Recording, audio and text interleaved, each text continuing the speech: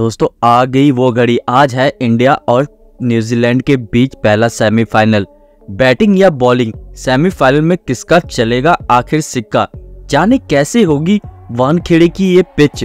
भारत और न्यूजीलैंड की team ICC one day विश्व कप 2023 के सेमीफाइनल के लिए भिड़ने के लिए अब पूरी तरह से तैयार है। दोनों टीमों के बीच ये मुकाबला मुंबई के वानखेड़े स्टेडियम में खेला जाएगा। विश्व कप में लगातार दूसरी बार दोनों टीम सेमीफाइनल के लिए एक दूसरे से टकरा रही है। पिछली बार भारत और न्यूजीलैंड 2019 विश्व कप के सेमीफाइनल में टकराई थी। विश्व कप 2023 में भारतीय क्रिकेट टीम विजय रथ पर सवार है। टीम इंडिया ने लीग स्टेज में अपने सभी नौ मुकाबले जीतकर सेमीफाइनल में जगह बनाई है। वहीं दूसरी तरफ़ न्यूजीलैंड की टीम ने टूर्नामेंट में शुरुआत तो दमदार की थी, लेकिन उसके बाद वो अपने लय से भटक गई। और जैसे तैसे उन्होंने सेमीफाइनल में अपनी जगह बनाई।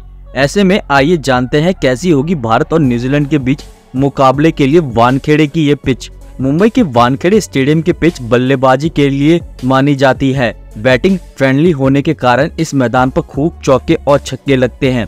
पिच पर उछाल होने की वजह से गेंद सही तरीके से बैट पर आती है। वहीं गेंदबाजी में कुछ खास मदद नहीं मिलती। इसके अलावा रही सही कसर मैदान का आकार पूरा कर देता है। लाल मिट्टी की इस पिच पर स्पिनरों को ज़रूर मदद मिलती है। वहीं शुरुआत में नई गेंद से तेज गेंदबाजों को भी लाभ मिलता है।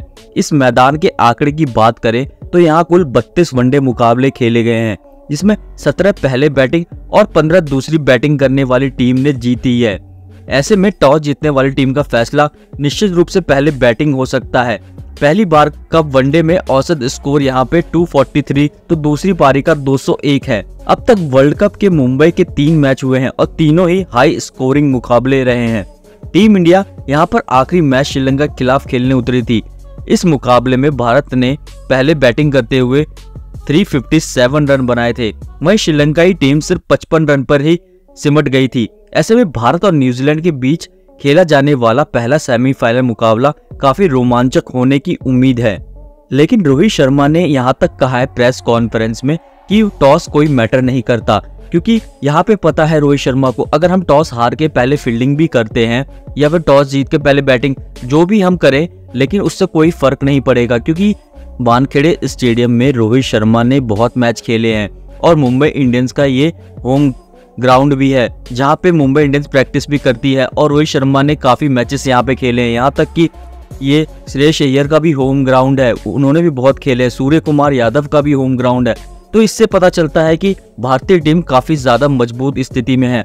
और कप्तान रोहित शर्मा ने कहा है कि हमें टॉस से कोई फ़र्क नहीं पड़ता कि टॉस हमारे फेवर में जाए या फिर नहीं जाए, क्योंकि यहाँ पे हम अच्छा क्रिकेट ही खेलते हैं और ये पिच वैसा ही है कि हम इसे चेस करते हुए या फिर टारगेट देते, दोनों तरफ़ से हम इसे जीत सकते हैं।